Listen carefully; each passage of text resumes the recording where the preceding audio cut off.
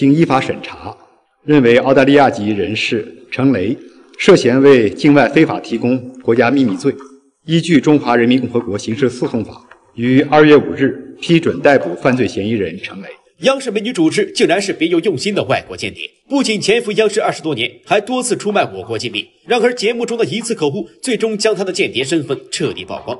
但是，出乎所有人预料的是，他竟然一直背着国人向美澳秘密传递情报，导致我国的一些政策还没来得及实施，就被其他国家知晓，给我国经济造成巨大的损失。那么，他究竟是谁？又是怎么暴露自己间谍身份的呢？二零二一年初，一条央视美女主持竟是外国间谍的消息突然走红网络。正当所有吃瓜群众以为这件事一定是谣传的时候，外交部却在新闻发布会上宣布，央视知名美女主持人程磊涉嫌出卖中国机密，按照相应法规将对其实施抓捕。这条消息瞬间引爆网络，因为在和平年代，间谍似乎只存在于影视剧中，很多人都觉得间谍离我们的现实生活很远。但程磊的事情曝光后，大家这才突然意识到。原来间谍就在我们身边。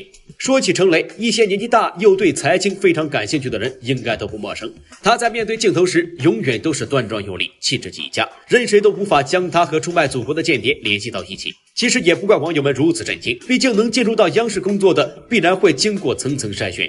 而且程雷潜伏了这么多年，竟然从来都没有人怀疑过他。对此，只能说程雷实在是太能装了。除了外表极具欺骗性外，他的个人履历也完美的挑不出来毛病。一九九四年，程雷从澳大利亚的昆士兰大学毕业，顺利拿到商学位后，他立即进入到了澳大利亚的两个知名公司工作，作为特许会计。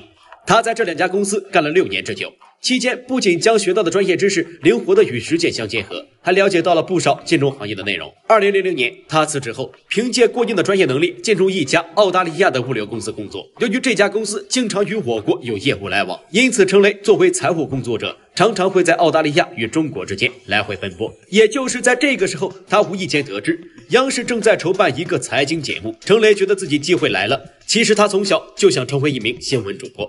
但父母却认为学习商业更加挣钱。在父母的再三逼追下，他最终还是放弃了自己喜欢的专业，选择了父母青睐的商业。而这一次央视对财经主持的选拔，不仅和他的专业对口，还能实现他一直以来的梦想。但是谁也想不到，这次的选择竟然会让他走上一条不归路。现在的汉奸真的比三八年少吗？央视美女主持人竟然是披着羊皮的狼，身居高位，潜伏我国二十多年，盗取无数机密文件。却甘心成为美号走狗。如果不是在节目中一句口误，可能他的身份至今都不会暴露。那么当年他究竟说了什么？二零零二年，程雷参加了央视对财经主持的选拔活动。由于长相出众，再加上多年的留学经历，他一口流利标准的英文瞬间加了不少分。而在专业领域，他的表现也丝毫不逊色于其他人，不仅能够对专业知识侃侃而谈。还能加入不少自己独到的见解，因此虽然他当时才二十七岁，但却挑起了财经的大梁。不管是财经回顾还是中国财经等节目中，都能够看到他的身影。二零零三年，他进入第一财经，成为中国的报道员，并为环球第一财经提供国际股市评论，一时之间风头无量。即使央视从来不缺人才，但他的光芒却丝毫没有受到影响。就连撒贝宁等人都追不上他的升职速度。由于表现突出，2008年奥运会期间，他还作为特邀主持，专门对奥运会做出了专题报道，并凭这个报道获得了纽约电视节的季军。而他在做节目的期间，曾采访过无数商政名流，就连比尔盖茨和美国财政部长都曾是他的座上宾。更别提国内的知名企业家了。在和这些人的接触中，他接触到了许多机密内容，并对我国的经济规划有了一定的了解。但他并没有将这些内容用于报效祖国，而是在美国和澳大利亚的利诱下，将这些机密全部传达给了美澳等国，心甘情愿地当起了这些国家的走狗。为此，澳大利亚方面对他奖励有加，不仅将他评为杰出校友，澳大利亚的政府还专门将他任命为全球教育品牌的大使，广为宣传。在他刻意的伪装以及众多光环的加持下，我国竟然从来没有人怀疑过他。直到他在一次节目中不小心说漏了嘴，间谍的身份才得以曝光。当时他一脸骄傲地表示：“美国和澳大利亚早就对我国经济了如指掌，一旦他们动手，我们的经济就会像即将要倒塌的大厦一样，瞬间化为乌有。”之后，他可能意识到自己说错了话，赶紧转移话题，想要将事情掩盖过去。但是广大的人民群众可并不买他的账。纷纷给央视留言，要求彻查这个长他人志气、灭自己威风的叛徒。没想到这一查，竟然还真的查到了不少东西。经过半年的搜索取证，最终确认了程雷的间谍身份。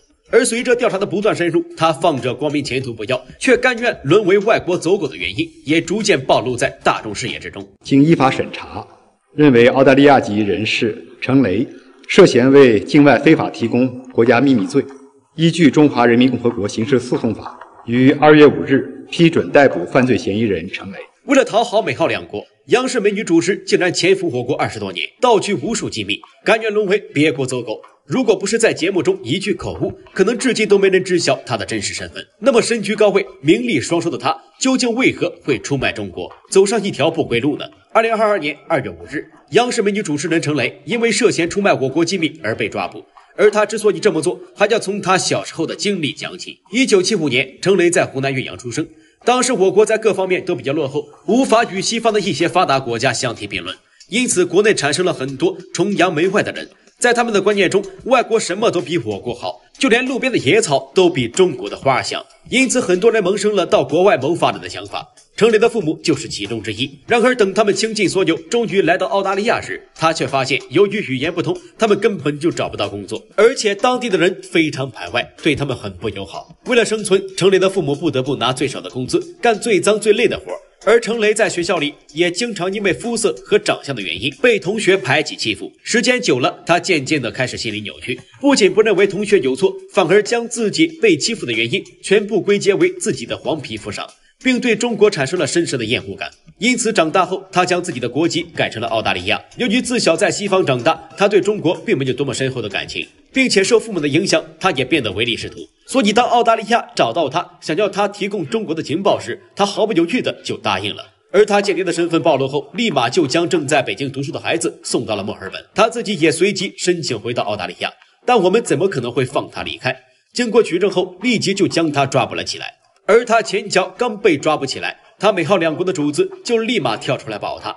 他们一致认为程雷是澳大利亚人，应该归澳大利亚管。但我们也不是吃素的，出卖了我国的利益，就应该接受我国的处罚。任何人都不能损害我国的利益。而在我国的搜查过程中，工作人员还发现，程雷在我国的社交账号虽然并没有任何异样，但是他在外网的社交账号却发布了各种不堪的辱华言论，甚至还肆意的造谣抹黑我国。在疫情期间，他就曾发文污蔑我国，将弃武汉于不顾；而我国的防疫政策初见成效时，他就发文大肆的攻击我国的防疫政策不合理。他这种两面三刀，为了自己利益就出卖国家的行为，活该受到国人的唾弃。而程雷虽然已经被抓住，等待他的自然有法律的审判，但我们也不得不更加谨慎。毕竟，随着社会的发展，间谍行为已经无孔不入，一不小心就可能被他们趁虚而入。因此，为了国家和人民的安全，一定要时刻保持警惕，谨防泄露国家秘密。